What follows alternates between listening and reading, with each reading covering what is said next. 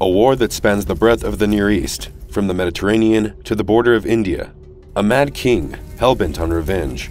A poor and isolated people living in terror of his army. All changed and turned upside down by the actions of one fearless and devout woman. The Book of Judith has held people spellbound for millennia, but why is it not included in most religious texts? The Book of Judith occupies an unusual place among the religious texts of the three major Abrahamic religions. Unlike other religious stories, such as the Book of Job, which has been consistently present in the Jewish Tanakh, the Christian Old Testament, and the Muslim Quran, Judith's place within the sacred books has been the subject of much controversy and debate. It is perhaps the only biblical story to seemingly disappear for a millennium within a religion's folklore, only to make a late medieval comeback and inspire facets of one of its largest holidays. Its genre is also debatable, is Judith an allegory, a historical account, or even a precursor to the historical novel? The character and personality of Judith herself is something of a rarity, even an anomaly within religious narratives. She is an action hero who would not be out of place in a modern thriller starring Gal Gadot or Charlize Theron. She acts decisively and without hesitation, showing no mercy to her enemies or patience with those on her own side who would remain passive in the face of subjugation by a foreign enemy. It is probably because of this strength in opposition to overwhelming force that the popularity of Judith has risen at times of national or existential danger over the centuries.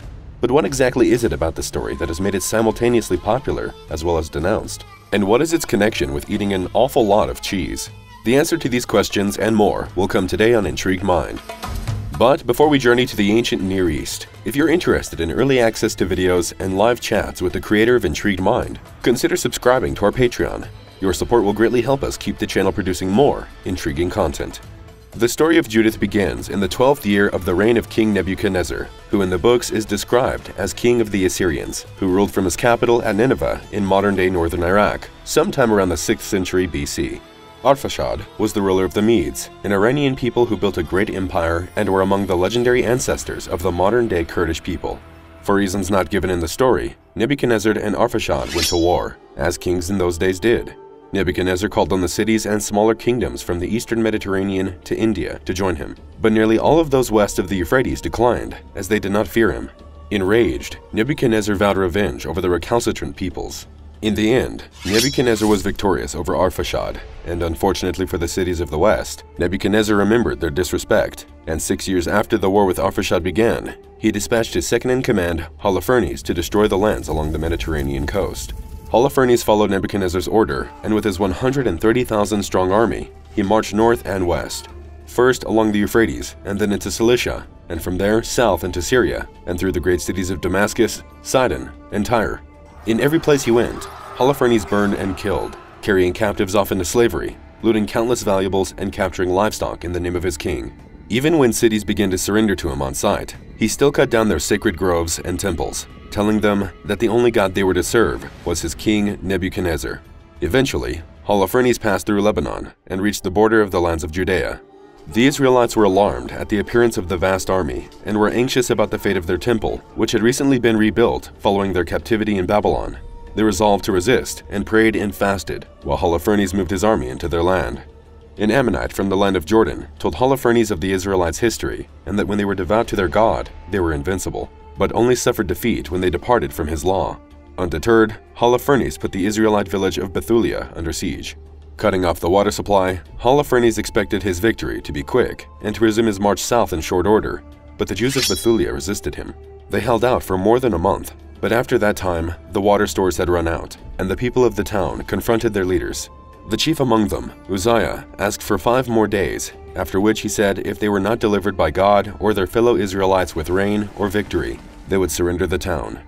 Hearing this announcement, a widow by the name of Judith, who lived in Bethulia and was known to be beautiful, highly devout, as well as wealthy from her husband's inheritance, summoned two of the chief men to her house and admonished them for testing God and for thinking of surrender. If Bethulia were to fall, she told them, then the whole of the kingdom of Judea would follow, and the Israelites would once more be slaves to their conquerors. The men agreed and asked her to pray for rain so that they could continue the fight, but Judith again upbraided them. Listen to me, she said. I intend to do something, the memory of which will be handed down to the children of our race from age to age.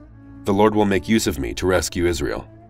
With that, the men left her home, and Judith spent a long time praying before bathing and dressing in her finest robes and jewelry. Making herself beautiful enough to beguile the eye of any man who saw her. After that, she filled skins with oil and wine, and packed a sack with cakes and other delicious foods.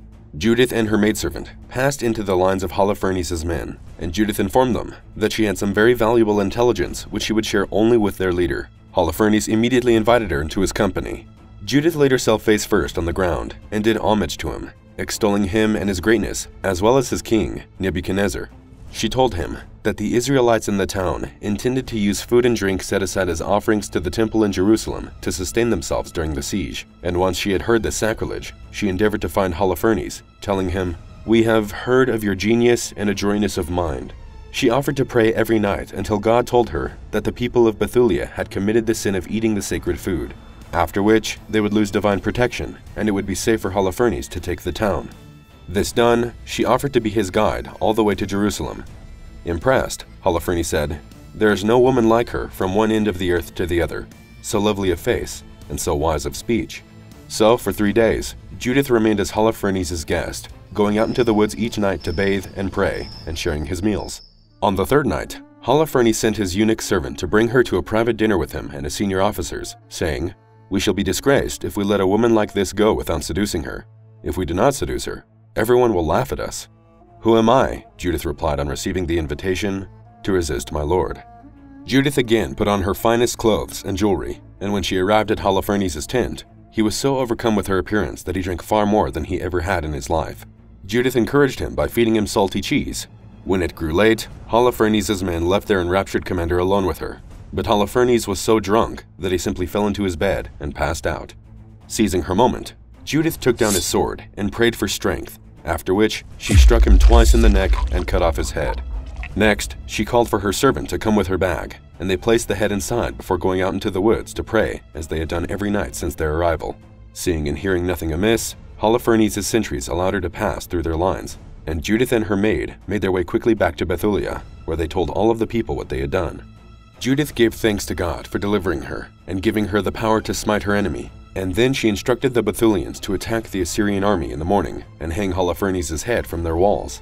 This caused the Assyrian army to fall into confusion, and they ran away from Bethulia in complete disarray. The Israelites fell on their fleeing enemies, killing many before plundering the Assyrian camp, rich with the bounty of its earlier conquests. Judith was praised most high, and she warned the Israelites never to lose faith in God, and they in turn gifted her the lavish treasure of Holofernes' tent. Judith lived until she was 105, and no outside power threatened the Israelites again during her lifetime. As is evident from her story, the Book of Judith is a thrilling war tale in which the people of a small and impoverished kingdom overcome the might of a bloodthirsty empire. Judith is a heroine who shows incredible bravery and guile to entrap and then assassinate the war criminal who has massacred cities and towns for hundreds of miles. But the Book of Judith is not included in many versions of the Bible, it is not part of the Protestant canon, for instance, or the Quran, and the story was essentially forgotten by Judaism until the 15th and 16th centuries. Commenting on the book while assembling his own new version of the Bible, Reformation Protestant Martin Luther said, If the truth of the history of Judith could be established by satisfactory evidence, it would be a noble and beautiful book, which might well find a place in the Bible. As it is, there are errors and doubts both as to dates and names, which I cannot in any way clear up. These errors would be notable immediately to anyone familiar with ancient Middle Eastern and biblical history. For instance, the first line of the book states that Nebuchadnezzar was king of the Assyrians, when he was in fact king of Babylon. As Dr. Douglas Metzger of the Literature and History podcast points out, this is a bit like a 21st century book stating that Napoleon was Emperor of England. What? The Book of Judith also states that its story takes place soon after the Babylonian captivity, but it was King Nebuchadnezzar of Babylon who destroyed Jerusalem and carried the Jewish people off as hostages, and he was long dead by the time they were freed, the Middle East by then having passed into the control of the Persians. The book also has its share of continuity errors, such as Judith bathing herself when the water to her town has been cut off for a month and people are dying of thirst. Judith's purpose, though, comes from the idea that it was most likely written and became popular at a period close to the last century BC, when the Jewish nation was under threat from the Seleucid Empire and then the Roman Republic, and it provided a rallying call to an earlier heroic time, as well as providing reassurance to the beleaguered people of Judea in the face of those enormous empires. Its association with cheese-based foods at Hanukkah seems to come from the resurgence in popularity the story enjoyed during the late medieval and early modern period, and this was due to the Reconquista of the Iberian Peninsula, when the monarchies of Castile and Aragon instituted a strict policy of conversion on its remaining Muslim and Jewish subjects. More than 1,500 years after its composition, the story of the remarkable woman Judith was still providing succor and empowerment to those who felt themselves defenseless, and its spirit lived on through the Renaissance, giving inspiration to artists and writers like Dante, Donatello, Michelangelo, Caravaggio, Botticelli, Titian, Goya, and Klimt, among many others. Even if not based on historical fact, it is truly one of the most intriguing tales ever told. For more videos on the most amazing forgotten parts of our history, be sure to subscribe to the Intrigued Mind channel, like the video, and leave your suggestions in the comments below.